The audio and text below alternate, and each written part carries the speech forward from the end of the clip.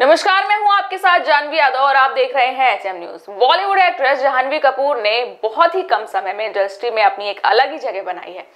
इन दिनों जाह्नवी कपूर एक्टर राजकुमार राव के साथ अपनी आने वाली फ़िल्म रूही अफजा को लेकर चर्चा में है। ये एक हॉरर कॉमेडी है। इस फ़िल्म में मेकर्स ने Roohi Afza first look release कर दिया है, जो सोशल मीडिया पर काफ़ी पसंद किया जा रहा है। इसके साथ ही इस फ़िल्म का नाम दूसरी बार चेंज हुआ है।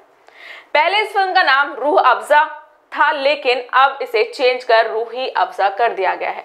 इस फ़िल्म में जानवी कपूर, राजकुमार राव के अलावा एक्टर वरुण शर्मा भी अहम रोल में है। फ़िल्म को रूही अफजा दिनेश विजन के प्रोडक्शन में बन रही है। वहीं इसका डायरेक्शन हार्दिक मेहता कर रहे हैं।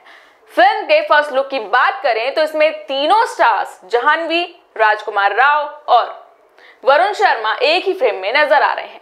पोस्टर में तीनों के चेहरे पर किसी बात को लेकर डर साफ़ दिखाई दे रहा है। फ़र्स्ट लुक में आप देख सकते हैं कि वरुण ने रेड कलर और राजकुमार राव ने ब्राउन कलर में बाल ड्राई कर रखे हैं, जबकि जहानवी सिंपल लुक में दिखाई दे रही है। वहीं स्पॉट बॉय के अनुसार मेकर्स अभी तक फ़िल्म रूही अफजा का टाइटल तय नहीं कर पा रहे हैं। जी हाँ इस मूवी का नाम एक बार फिर बदल दिया गया है। आपको बता दें कि राजकुमार राव और जहानवी की इस फ़िल्म का नाम पहले रूह अफजा था। लेकिन बाद में इसे बदलकर रूही अफजा कर दिया गया। ये फ़िल्म 20 मार्च 2020 को रिलीज़ होगी। रूही अफजा के अलावा जानवी कपूर फ़िल्म कारगिल गर्ल और कार्तिक आर्यन के साथ करण जौहर की दोस्ताना टू की शूटिंग कर रही हैं।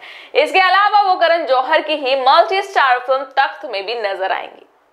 तो ये थी हमारी आज की खास रिपोर्ट। इस तरह की बॉलीवुड खबरों के लिए देखते रहिए अच्छा न्यूज़